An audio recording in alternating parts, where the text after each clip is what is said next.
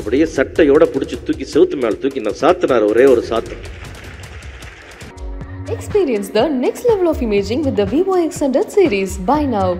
11 days of grand Australia trip with easy EMI of rupees 30,000 only with GT Holidays. Compel பண்ணி நடிகர் சங்க தேர்தல் நிக்க வச்சாங்க. ரொம்ப சீரியஸா இடத்துல நின்னாரு. மிகப்பெரிய வித்தியாசத்துல ஜெயிச்சாரு. ஜெயிச்சு வந்தோடனே என்னப்பா பிரச்சனைங்க என்ன? அது மாதிரி கடன் இருக்கு. அதை அடைச்சிருவோம் அந்த கடன் அடைக்கிறதுக்காக மலேசியா ஷோல முடிச்சு மொத்த நடிகர்களும் இன்க்ளூடிங் நம்ம ரஜினி சார் வரைக்கும் ஒரு பெரிய ஆபத்துல மாட்டும் போது தனியாளா உள்ள பூந்து அந்த கூட்டத்தை எல்லாம் அடிச்சு சமாளிச்சு அத்தனை பேரையும் பஸ் ஏத்தி சிங்கப்பூர்ல கொண்டு வந்து ஷோ நடத்தணும். ஷோ முடிச்சதுக்கு அப்புறம் அந்த ஷோ முடிச்சவர் வந்து பணத்தை தராம எனக்கு லாஸ்ன்னு சொல்லி ஏமாத்துறாரு. எல்லாரையும் புறப்பட்டு போக சொல்லிட்டாரு. அவர் மட்டும் ஹோட்டல்லே இருந்தார். நான் அந்த பணத்தை வாங்கிட்டு தான் சென்னை போவேன்னு வந்துட்டு இருக்காரு அந்த ஹோட்டல் லாபிக்கு வந்தாரு. யார் ஏமாத்துறான்னு வந்து அவர் அஞ்சு நிமிஷம் பேசி பார்த்தாரு. அவன் ரொம்ப திமிரா பேசிக்கிட்டே இருந்தான். அப்படியே சட்டையோட பிடிச்சி தூக்கி செவுத்து மேலே தூக்கி நான் சாத்தினார். ஒரே ஒரு சாத்து. ஏண்டா நாங்கள் இத்தனை பேர் வந்து ராத்திரி மகளமாக பாடுபட்டு உழைச்சு கொண்டாரு. நீ ஏமாத்திட்டு போயிருவியா காசேன்னு கேட்டார். விஜயகாந்த் சுத்திலும் பாருங்க சிசிடிவி கேமராக்கு போலீஸ் பார்த்தா என்ன தெரியுமான்னு கேட்டேன் திருப்பி ஒரு நாலு சாத்து உட்கார வச்சு எழுதி வாங்கி அத்தனை பணத்தையும் வசூல் பண்ணி அங்கேருந்து கொண்டு வந்து கடனை அடைத்தவர் கேப்டன் அவரை தவிர வேற ஒருத்தருமே அந்த ஒரு கோடி ரூபாய் இங்கே உணர்ந்து சேர்த்துருக்கவே முடியாது. அவர் இல்லைன்னா அது மொத்தமே நஷ்டம் இல்லை. என்னை தயாரிப்பாளராக்கியவர் இந்த அம்மா கிரியேஷன் நிறுவனத்தை துவங்கி வைத்தவர் என் வாழ்நாளெல்லாம் மறக்க முடியாமல் என்னுடைய எல்லா நிகழ்வுகளிலுமே பங்கு கொண்டவர். அவர் வாழ்நாள் முழுவதும் எந்த படத்திலும் ஒரு தயாரிப்பாளர் கூட ஒரு மணி நேரம் தாமதமாக வந்து எந்த விதமான நஷ்டத்தையும் உருவாக்காதவர். கடைசி வரை எந்த இயக்குனரிடமும் இந்த ஷாட் எதுக்கு இந்த டயலாக் எதுக்குன்னு கேட்காம நடிச்சு கொடுத்த ஒரு மாபெரும் நடிகர். நடிகர் என்ற இனத்துக்கே பெருமை சேர்த்த ஒரு நடிகர் என்றால் இது எங்களுடைய கேப்டன் மட்டுமே. அவர் வந்து இந்த சம இந்த சினிமாவுக்கு நடிகராக அறியப்பட்டதை விட நல்ல மனிதராகத்தான் அறியப்பட்டார் முதல்ல. அப்பெல்லாம் பத்து படம் வரும் தியேட்டர் வாசல்ல போய் நின்னா எல்லாரும் என்ன படம் பார்க்கலான்னு பேசுவாங்க. ஏய் நல்ல மனுஷன்டா விஜயகாந்த் படம் பார்க்கலான்னு சொல்லி போவாங்க. அப்படித்தான் அந்த கூட்டம் அவருக்கு வந்துச்சு. அங்கிருந்து அவர் வாழ்க்கை தொங்குது இந்த இறுதி ஊர்வலம் வரை அந்த நல்ல மனுஷன் தான் அவருக்கு அந்த கூட்டத்தை கொண்டாந்து சேர்த்துச்சு. ஸோ ஆரம்பம் முதல் இறுதி வரை நல்ல மனுஷன்ற பேரோடவே ஆரம்பித்து அந்த வாழ் அந்த பேரோடவே முடித்து கொண்டவர் எங்களுடைய கேப்டன் குறிப்பாக வந்து இந்த நடிகர் சங்கத்துக்கும் அவருக்கான தொடர்புகளை மட்டும் இந்த இடத்துல சொல்லி விடைபெறணும்னு நான் நினைக்கிறேன். ராதாரவி அவர்களும் அண்ணன் வாகை சந்திரசேகர் அவர்களும் அவரை ரொம்ப கம்பல் பண்ணி நடிகர் சங்க தேர்தல் நிக்க வச்சாங்க. அவர் ரொம்ப சீரியஸாக இடத்துல நின்னார். மிகப்பெரிய வித்தியாசத்தில் ஜெயிச்சார். ஜெயிச்சு வந்தோடனே என்னப்பா பிரச்சனைங்க? என்ன? அது மாதிரி கடன் இருக்கு. அதை அடைச்சிருவோன்னார்.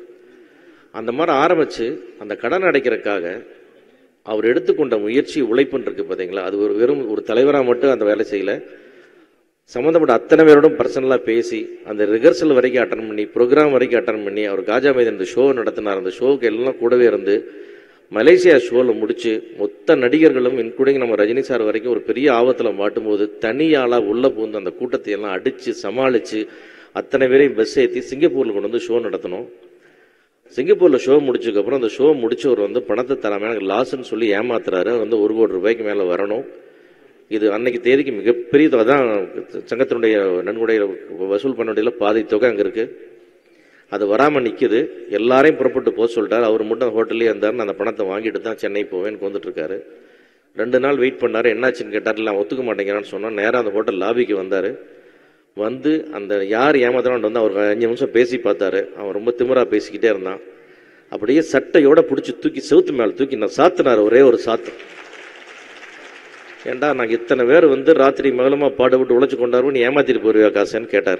அவன் கதர்னா மிஸ்டர் விஜயகாந்த் சுற்றிலும் பாருங்கள் சிசிடிவி கேமராவுக்கு போலீஸ் பார்த்தா என்ன தெரியுமான்னு கேட்டேன். டேய் போ- போலீஸ் வரும்னா நான் கா கண்டுபிடிச்சோண்டா எனக்கு எவ்வளோ போலீஸ் வரும்னு சொல்லி திருப்பி ஒரு நாலு சாத்து உட்கார வச்சு எழுதி வாங்கி அத்தனை பணத்தையும் வசூல் பண்ணி அங்கேருந்து கொண்டு வந்து கடனை அடைத்தவர் கேப்டன்.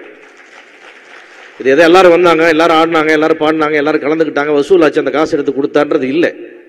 அவரை தவிர வேற ஒருத்தருமே அந்த ஒரு கோடி ரூபாய் இங்க உணர்ந்து வந்து சேர்த்திருக்கவே முடியாது. அவர் இல்லைன்னா அது மொத்தமே நஷ்டம் இன்னைக்கு அப்படிப்பட்ட அளவுக்கு அந்த நடிகர் சங்கத்துக்காக தன்னுடைய ரத்தத்தை சிந்தி சுண்ட சுண்ட ரத்தம் சுண்ட சுண்ட உழைச்சவர் எங்களுடைய கேப்டன் அதை போல என் அன்பு சகோதரன் செல்லுமணி கேட்டுக்கொண்டது மாற இந்த நடிகர் சங்கத்தில் இருக்கிற அத்தனை பேருடைய பொற்பாதங்களிலும் விழுந்து மன்றாடி கேட்டுக்கொள்கிறேன்.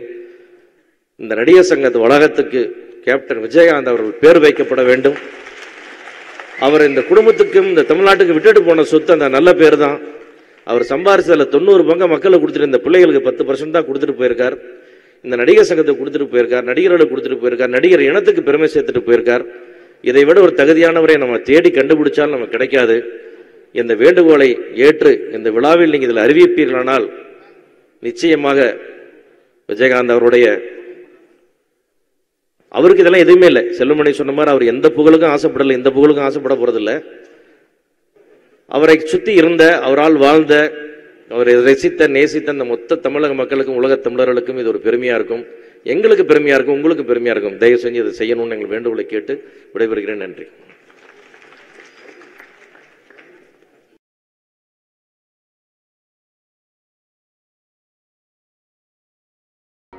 Experience the next level of imaging with the Vivo Extended series. Buy now. 11 days of Grand Australia trip with easy EMI of rupees 30,000 only with GT Holidays.